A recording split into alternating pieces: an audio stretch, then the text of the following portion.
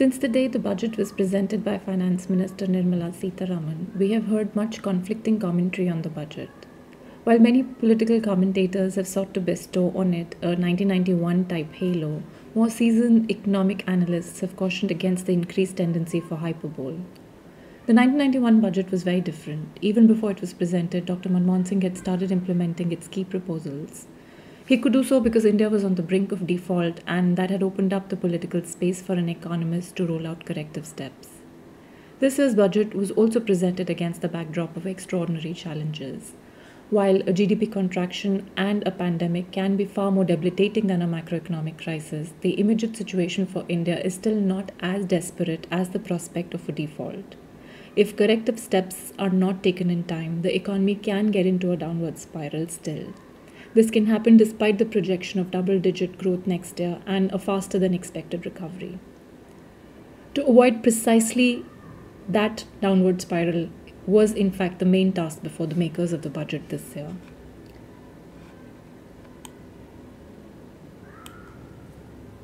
Did they succeed in this task? Normally, a budget can only lay out a blueprint and design a strategy. Implementation is rarely in the hands of finance ministry. But this time it's different. Turns out that this year, the key to implementation success is also very much in the Finance Ministry's control. To talk about all that is riding on this year's budget and all that the budget is riding on, JP Morgan's Chief India Economist Dr. Sajjid Chinoy joins me in today's episode. I asked Sajjid if it is realistic to expect the budget to deliver sustainable recovery and growth.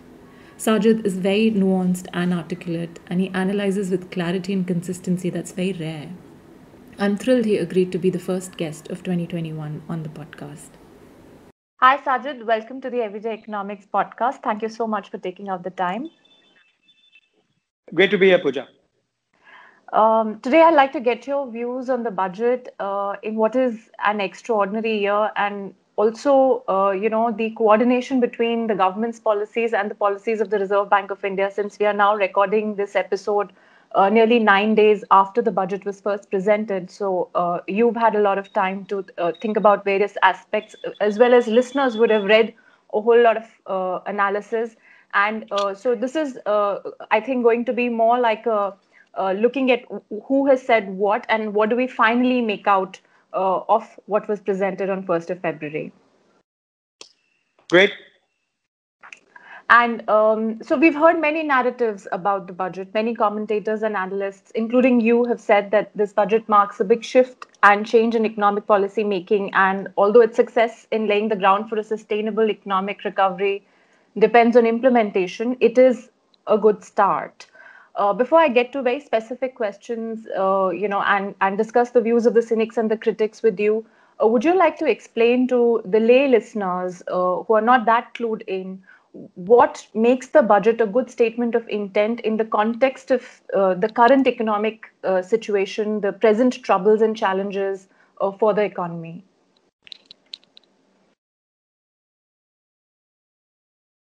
It, um, what the budget has done and what it seeks to do.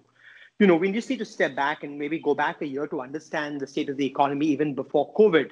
I think all of us um, appreciate that growth was slowing, but I think it's, it's important to dig deeper into the drivers of the slowdown. And if you look at GDP from the expenditure side, which is essentially consumption plus investment plus government spending plus net exports, you know, you recognize that in the last five years, growth was largely driven by consumption growth, private consumption growth, which was about, you know, seven and a half percent on average. And this is very different from the last, uh, uh, you know, burst of growth that India had between, you know, between 2003 and 2010, which was much more Asian in nature in the sense that was driven largely by exports. Ex, you know, it was exports growing at 18% a year for six or seven years. That drove a large investment cycle. Uh, that created jobs, and that in turn, uh, you know, uh, w- w- triggered consumption growth. Here, we really had consumption as the primary driver of growth. Exports have been very weak, about two and a half percent or so on average over the last five years, in part because of you know the global economy slowing and, and the deglobalization that we're aware of. The, the issue really with the consumption growth was some of this growth was being driven not by organic income growth, but really by households running down savings and taking on debt. Uh, and there was a limit to you know how much that could go on. So you, if you notice carefully, you will see that even in the year before COVID, consumption growth had begun to slow, uh, right, from about seven and a quarter percent down to just the low sixes. Um, so, so, so one couldn't bank on consumption, and to the extent that households uh, perceive, uh, you know, uh, COVID to be a quasi-permanent hit on their on their incomes and their jobs, we should not expect consumption to pick up in a hurry. I think one of the more revealing data that just came out on Friday evening was the RBI's uh, consumer confidence surveys. And while confidence has picked up, I think a really important number to look at was that when households are asked, where will your spending be one year from now? Actually, that number has gone down back to its September level. So we saw some improvement in October, November, December, but now it's lapsed back to September. So to the extent that there has been a quasi-permanent uh, income shock here for many income households. You see uh, unemployment has gone up, um, you know, in the CMI labor force surveys. You see even in January, uh, demand for NREGA is 40% higher than the previous January. There is, you know, an income hit to many parts of the economy, and that will manifest in consumption growth, you know, recovering slowly. What you're seeing right now is this burst of consumption from the upper income households people talk about a K-shaped recovery where the upper end has done very well. Their incomes have been protected. Um, their saving rates have been forced up. So there's a lot of fuel in the tank that they have to express themselves. And I think what you're seeing in the last, uh, you know, in the, in, in, the next quarter or two is the upper income households kind of uh, catching up for what they couldn't spend last year. The issue is going to be when that, uh, when that uh, burst of consumption is over, then I think some of the scarring that you're seeing in the labor market might begin to manifest more clearly. And so we should not expect that consumption growth is going to, uh, you know, uh, go back to its pre-COVID levels in a hurry. I think the auto market or the auto uh, sector is quite revealing. If you look at actual registrations of two-wheelers between October and, and January, it's down 11% year on year. If you look at four-wheelers, they're up 1%. So that's kind of some confirmation of this bifurcated recovery. So now, if you kind of you know believe that consumption will recover only slowly, uh, exports have been choppy. We can expect some export recovery as the global economy recovers later this year. But will that be enough to drive an investment cycle? I'm not sure by itself. And then, if you look at private investment, what you will see is even before the COVID crisis, utilization rates were below 70% for three consecutive quarters. And during COVID, they've fallen further to 63%. So my short point is it's going to take time for the private sector to recover. Uh, private investment is endogenous to final demand. If consumption is going to be hesitant, if the recovery will be hesitant, if there is not much conviction that exports alone, you know, will go back to the double-digit growth that we saw in the mid 2000s, it's unlikely that the private sector is going to start investing in a hurry until these utilization rates go back above 80. Now, I think that is the, the bigger macroeconomic context. So I think what the budget had to do was ensure that public investment and government spending remains the driver of growth in the next year or two. Uh, you know, and I think we, I've argued a lot in the past that if you have a big public investment push, uh, you a increase aggregate demand, b it has estimated to have large multiplier effects in the economy, um, uh, see it as labor intensive to the extent that you create construction jobs and it'll fill some of the labor gap. And D, you know, infrastructure provisioning just improves medium term competitiveness. So I think the budget's challenge was how do we increase um, public investment and government spending, uh, you know, for the next couple of years, even as we reduce the headline deficit, because uh, we know now that the total public sector borrowing requirement in India is going to be, you know, upwards of 15% of GDP this year. This is not an aberration. All emerging markets have seen their fiscal deficits widen sharply. So I think the central challenge was how do you boost public investment and at the same time bring your deficit down? For me, the most obvious way to reconcile those objectives was to push hard on asset sales. And I think that's why I think the budget uh, needs to be commended because what you're seeing is higher public investment over a few years, financed by asset sales, and that allows some deficit consolidation. Uh, right, and um, except that uh, you know, so I'll I'll immediately wear my cynic hat here and Please. you know yeah. ask you that you know for those of us like you and me who've been looking at budget numbers for years and years, uh, we all realize that you know the asset sales or the disinvestment, privatization, uh, non-tax revenue target number that comes in the budget every year, every year has become more like an accounting entry. You know, when I think the bureaucrats who make the budget, when they look at you know what is the it that they're going to raise in the tax revenue, what is it that they need to spend in a year, and what is the fiscal deficit target that the FRBM has spelled out for that particular year and whatever you know is is the sort of unmet num uh, uh, the difference between these three in the equation that tends to become the disinvestment target which is never met. In the last 3 to 4 years that that figure that target has never been met. And uh, i can say this that you know when i started my career as a journalist the first story that i wrote uh, uh more than 20 years ago was that Air India was going to be disinvested, uh, going to be privatized. So, yeah. Uh, like you say, you know, implementation is key, but that that is what it has been for the last 20 years. What's going to change this year? The bureaucrats right. are the same, you know, policy is same, the ministry is the same. Puja, that's a legitimate observation, and uh, as I've written repeatedly, that this budget is now all about execution, uh, uh, uh both on both sides of the ledger we need to execute and create those uh, that public investment this year to give the to give the demand stimulus to the economy. At the same time, those asset sales need to happen. And so you're right. Ultimately, the budget will be judged by what the efficacy of the execution is. I will simply say that I think this is not a normal year. I think there's a certain urgency that the macroeconomic environment, uh, uh, uh, you know, uh, is uh, creates this year. And my point is, you know, in a normal year, uh, if you don't, as you said, if you don't meet your asset sale targets and you need to keep to your fiscal deficit, uh, normally capital expenditure is the first one to be cut. But I think there's hopefully a sufficient recognition in the country here that for the reasons I laid out in the beginning, we really can't have the fiscal impulse be very contractionary in this year. Uh, we really need public investment to drive growth over the next 12, 24 months. Otherwise, India's recovery back to its pre pandemic path will take much longer and the recovery will remain incomplete for the near future. So I think there's perhaps, and I think I would just take comfort from what we're seeing from October onwards, that uh, once the economy opened up, we're seeing very strong capital expenditure spending, October, November, December. Uh, the liquidity numbers suggest January. So that gives me a bit of hope that given these exceptional circumstances, uh, that public investment will need to happen.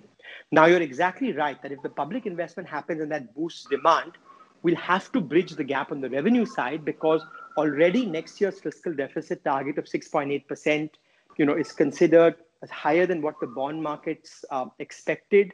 Uh, and so we don't want a situation where uh, uh, the fiscal deficit number is higher. I don't think it will be because that will put a lot of pressure on bond yields and that will tighten financial conditions. So just as there is an imperative for higher public investment, I think hopefully there's a recognition that we can't let the fiscal slip.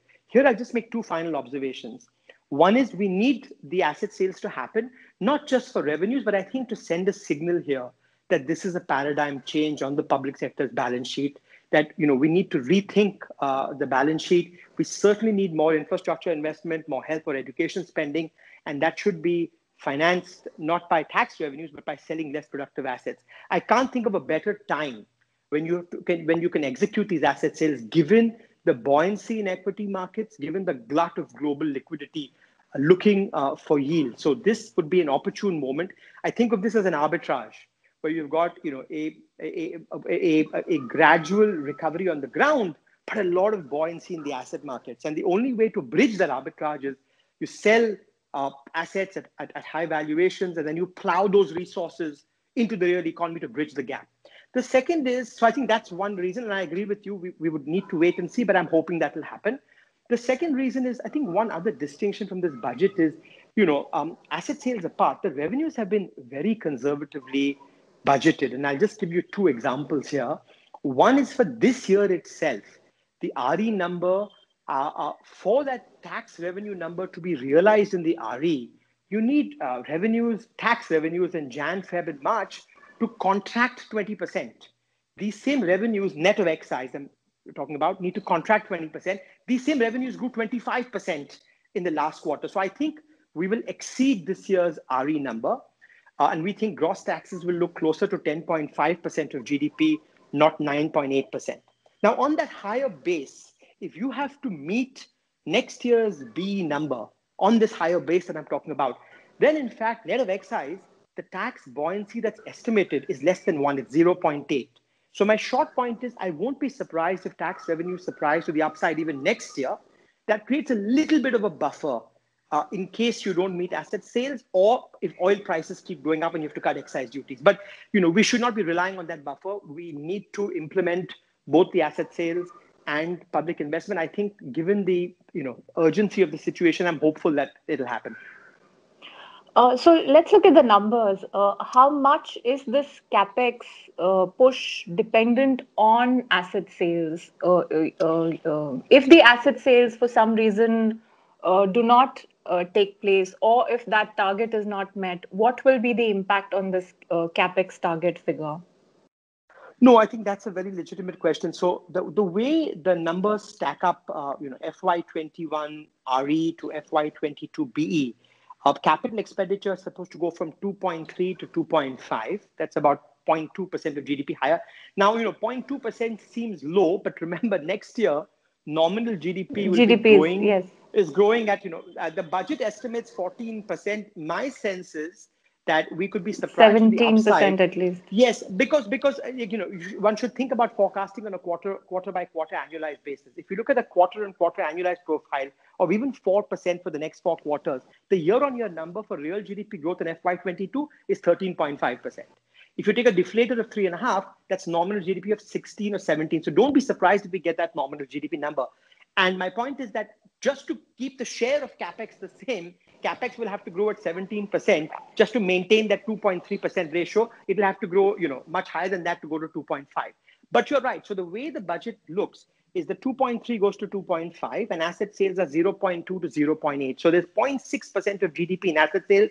If those don't materialize, then I would uh, I would worry that a uh, uh, you know uh, capital expenditure may need to be cut uh, and B, they might even be pressure on the fiscal deficit. Let me pick one last point. If you just take a two-year perspective, FY20 to FY22, uh, the reason I talk about this asset swap is because if you just look at these two years and ignore the crisis here, uh, given it was an abnormal year, what you'll see is that capital expenditures go up by 0.8% of GDP, uh, and asset sales go up by 0.6% of GDP. So again, subject to the budget numbers being realized, if they are realized, one way to think about this over a 24 month time period is about 75% of your capex uh, increase is being financed by asset sales. But again, uh, we need we need for these numbers to be realized.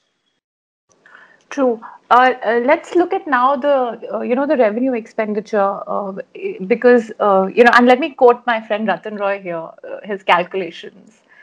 he he's been saying that you know the revenue deficit uh, which measures how much government borrows to finance its revenue expenditures. Uh, it, it, was budgeted uh, last in last year's budget at 77% of the fiscal deficit, which left only 23% of capital expenditure. In the revised estimates, it shrank to 21%. And now in this new budget for next year, this has been budgeted at 24%. So this isn't really a very big uh, shift in terms of composition of public spending. Uh, how do you see this argument? And he has made this argument in the past that a large part of government borrowings are spent for paying pensions and salaries and even past borrowings. Uh, yes. Where does this fit into the uh, entire budget uh, uh, arithmetic? No, so I, I would look at it. Uh, I see Rathin's point more largely, but I think I would just look at what I pointed out in the last over a two-year period. So if you look at FY20 asset sales. FY22, yeah, you just the cleanest way to look at this is as a share of GDP across two years. How much of the increased capital expenditure is being financed by asset sales? Capital expenditure goes from 1.7 to 2.5. That's a 0.8% increase across two years. Asset sales go from 0.2 to 0.8, which is 0.6. In other words, three fourths of the increase in capital expenditure is being paid for by asset sales. Uh, uh, some of it, of course, by definition, the residual is paid for paid for by revenue expenditures. So again, this is all uh, uh, Puja subject to realization. Yeah, and and uh, uh, what about on the revenue expenditure uh, side of, of the budget? How is that looking? Uh, because also, you know, they the budget estimates are budgeting a drop in pension expenditure. I don't know how they're going, especially for defense and central government employees. I don't know how how, how realistic that is. Yeah. So so so um, so again, there are many ways to cut the revenue side because you've got interest, and one of the complications is because nominal GDP was contracting this year as a share of GDP, things bounce around. The other is subsidies. Remember, uh, one of the reasons the deficit was higher is a lot of subsidies have been brought from on off balance sheet to on balance sheet this year. Some of them are repayment of previous arrears, so it's a one-time effect and it doesn't show up next year. So I think an, another way, perhaps the cleanest way to understand the fiscal impulse next year in an aggregate sense, is to look at uh, total expenditures net of interest and subsidies, right? So we take interest out because that's non-discretionary. And we take subsidies out because that's where most of these on-balance sheet to off-balance sheet movements have happened. And there are many one-offs this year, FCI as well as fertilizer. If you look at it this way, the, here's the conclusion you come to, that actually government spending was stronger even in 2019-20. But we failed to pick it up because those final numbers came out in, in the month of May in the height of the pandemic. And what you see is the ratio that I'm talking about, total expenditure uh, net of interest and subsidies typically averages 8%, you know, in the three years before 2019. In the pre-pandemic year, that number goes from about 8 to almost 9%, to 8.9%. And then in the pandemic year, 8.9 goes to 10.8. So effectively, as a share of GDP, we're seeing total expenditure rise by about three percentage points over three years. Now, you're exactly right. As a share of GDP, this comes down by 0.5% of GDP in the budgeted number. So 10.8 for FY21 becomes 10.3 in FY22. So even as capex is rising, you're rightly saying revenue expenditures as a share of GDP is coming down. Uh, the, uh, and so, you know, what we want to do, of course, is minimize how much that ratio falls, which is why it's really important that we don't undershoot on asset sales because you don't want expenditure to fall by that amount. Uh, the thinking here, of course, is you know capex is going up, capex has higher multipliers, revenue to GDP is coming down. That may have slightly lower multipliers, so the impulse on the economy could still be positive. But it is right. The way to think about this is there was an increase in spending of about 3% of GDP, and half a percent of that will be withdrawn in FY22 as a share of GDP. Right. And so this is, of course, this takes care of uh, how things are likely to pan out uh, if everything goes as as uh, uh, we've been discussing and is implemented in the next one or two years. But in terms of there is also a, a medium to long term correction of economic strategy that is required. And uh, here I'm talking about another piece that you wrote some time back about how even in the recovery in the pandemic, you know, like the different classes in the economy have uh, suffered differently and therefore their ability to recover is different. Uh, the K-shaped recovery, etc., that everybody is talking about. This is not just in India's case post-pandemic. This is also a more longer-term story where where uh, the composition of demand uh, for different classes uh, uh, of people is different, and and and for the bottom of the pyramid, the the opportunities for jobs and incomes aren't as as easily available as it is for for the rest. So uh, on that correction that is needed in the in, in the economic strategy, of course, I realize that you know one or two budgets cannot fix uh, such a structural problem. But there, what do you think? Uh, uh you know, if did something come on that? Yeah, no. So Puja, you put your finger on the button, which is that, and I think we don't fully appreciate this. Uh, that uh, you know, COVID, unfortunately, around the world has affected a, is essentially induced an effective transfer of income from the poor to the rich. The digital divide has gotten more exacerbated. And uh, while inequality, uh, you know, is undesirable for a variety of reasons that we know about, it also has an impact on steady state demand because for every dollar that moves from the bottom of the pyramid to the top of the pyramid in the steady state, uh, you will find that the marginal propensity to consume is lower, and therefore, a steady state consumption growth will be lower. Right. So I think that we need to keep that in mind. That at the end of the COVID year of FY22, you will see around the world that if in fact we could measure, measure GDP on the income side, my bet is, and this is true of most emerging markets and developed markets, that upper income to GDP would go up, profits to GDP would go up, right? For listed firms, SME profits to GDP would go down, and income to GDP at the lower end would go down. So you're seeing this effective transfer of income. And we wrote about this when the GDP numbers came out in July to September quarter, right? That the headline number was much better. The economy contracted 7.5%. People had expected worse.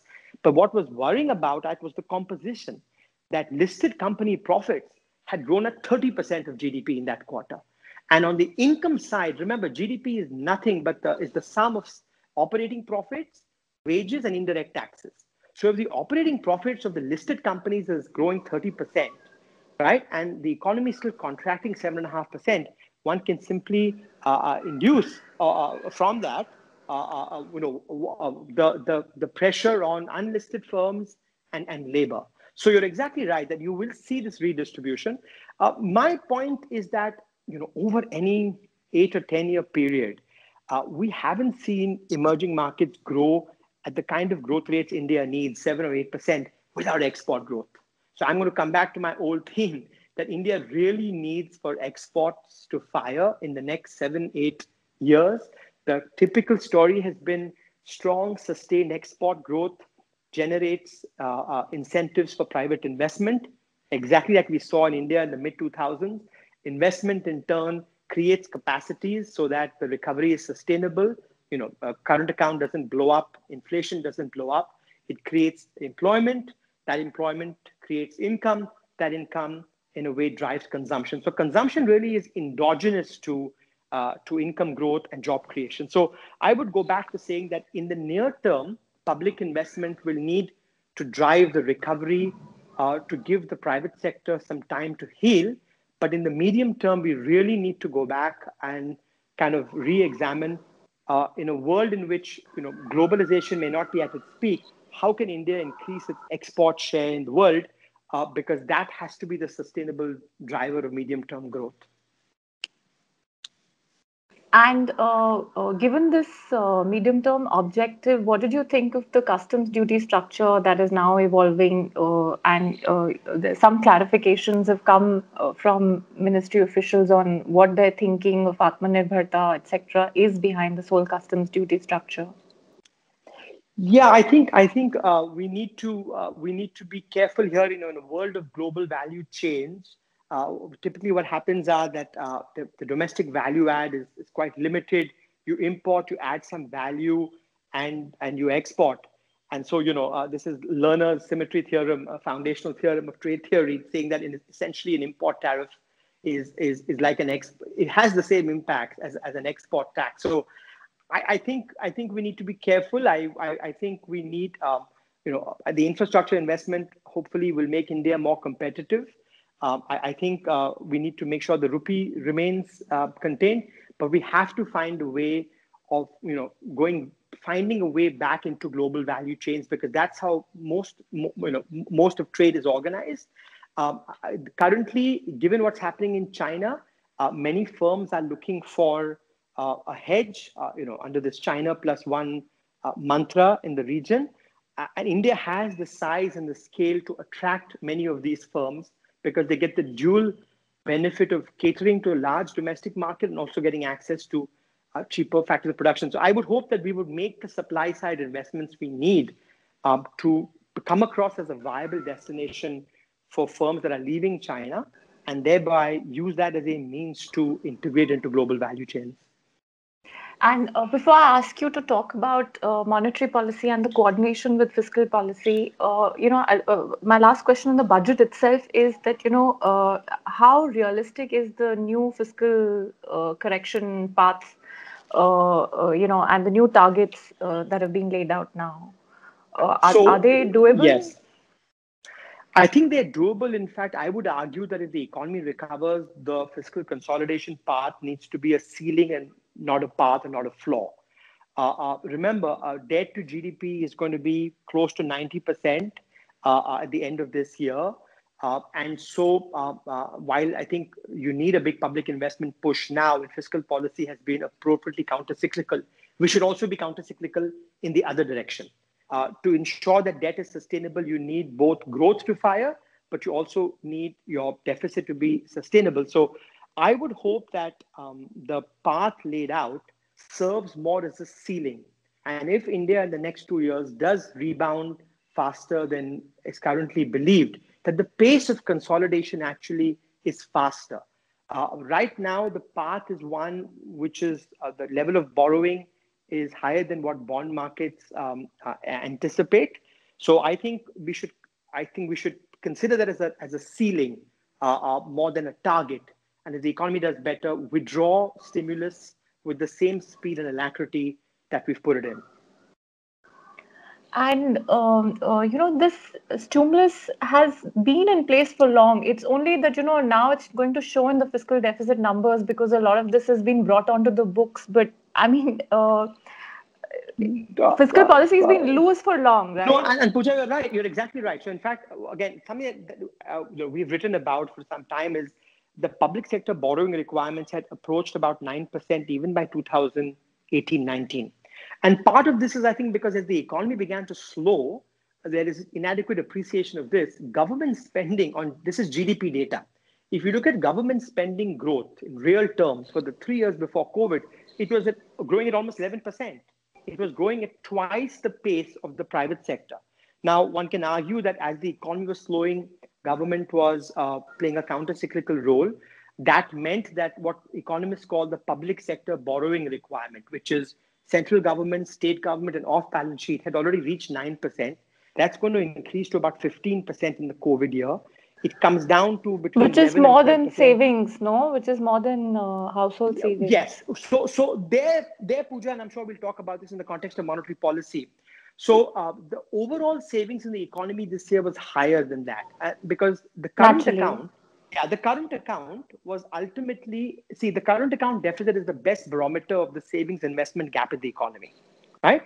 Uh, the mm. current account was in surplus in FY21 because uh, you know you had private sector precautionary savings rise very sharply, and therefore the fact that you had the current account in surplus meant that the increase in private sector savings investment surpluses was higher than the increase in the government's uh, savings investment deficits right? So the so so the increase in the private sector saving was more than the government deficit widened which is why the current account went from a, uh, a deficit of almost 1% of gdp pre-covid to a surplus of 1% of gdp covid year but that is exceptional and i think that's my key point going forward that as the economy normalizes these household savings rates will come down we anticipate the current account deficit in FY22 to be upwards of 1% of GDP. So now we go back kind of to the pre COVID environment, and we don't have that pool of savings that was available in the COVID year to finance government deficits.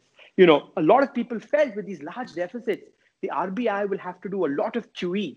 Guess what? Total issuance for center and states in this year is expected to be about 18 trillion. The RBI's purchases has only been 2.6 trillion. It's been 15% of the total issuance, much less than what any economist thought a year ago. And the reason for that is because you have this automatic stabilizer. You had a big shock, savings rates go up, and the private sector was able to finance this, uh, uh, you know, largely. Now, going forward, we may not have that luxury. To the extent that the current account now goes back into deficit, the pool of savings is going to be lower, and therefore, we need to be careful about the path of fiscal deficits that I mentioned going forward, that that path potentially needs to be more aggressive if the economy recovers because you won't have the luxury of those savings. Yes, India could join a bond index later this year and that will give you some foreign savings, but that creates its own kind of monetary complications if the RBI is intervening to, uh, to, uh, to prevent the rupee appreciation. So, and, and therefore, in FY26, the, if the center's deficit is 4.5% and states are at 3%, and other PSUs are borrowing about 1% of GDP, the PSBR will still be about 8.5 to 9%, which seems a bit high if the economy is doing well. So, again, to summarize, I think it was important to give a capex push this year. We may need to do it again next year. But for fiscal policy to be counter cyclical, if the economy starts doing better the next couple of years, we should withdraw this uh, soon enough so that you don't have this pressure on financing these deficits and, and causing financial conditions to, to come under some pressure. and we have not really seen government of india uh, manage to do something like this uh, you know so nimbly in the past uh, i just want, wanted to say that, that the record in the past has not been very uh, encouraging Puja, there, at uh, least for fy22 i'd just be a little bit more agnostic because you know if you're going to get 17% nominal gdp growth you know, uh, you, you, know, even if tax buoyancy is unitary, is a one, one, you know, an elasticity of one, I think we may be surprised slightly by the revenue upswing. So I don't think it's an FY22 challenge. I think perhaps after that, when we go back to the new steady state, at that point, consolidating, you know. But again, we'll, we'll have to be nimble. Next year, I think the asset sales are certainly something we need to focus on, but we might be surprised on the, on the revenue front if, in fact, you do get the 17% pickup in nominal GDP. Right, but we are also then going to be approaching a general election, and the propensity to spend and be populist then increases. And uh, as it is, uh, uh the from the FRBM Act, the revenue deficit target has been deleted through an amendment a couple of years ago. Yeah, I mean, I think uh, from a from a medium-term fiscal perspective, Puja, I think the imperative now is just to stabilize debt to GDP again, let's not focus about levels. India's at 90%, the world's at 100, but it's really important from a fiscal sustainability perspective that we don't let debt to GDP uh, start rising monotonically. Now, a right. lot of that has to do with growth. It really has to do with growth. If the denominator, if nominal, if real GDP is at four and a half to five percent, then no matter what you do in terms of fiscal consolidation, debt to GDP starts going up.